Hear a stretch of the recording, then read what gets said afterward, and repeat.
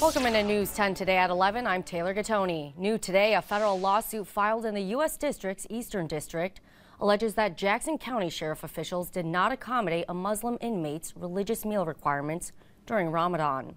The lawsuit was filed on March 27th on behalf of Marvin Owens, a Muslim man by the chapter of Council on American Islamic Relation. The lawsuit alleges that for the first three days of Ramadan, Owens was not provided a pre-dawn meal or a meal at sunset. According to Owens' lawyers, the law requires that Jackson County Sheriff's Office take steps to ensure that detainees in their custody can safely practice their religious beliefs.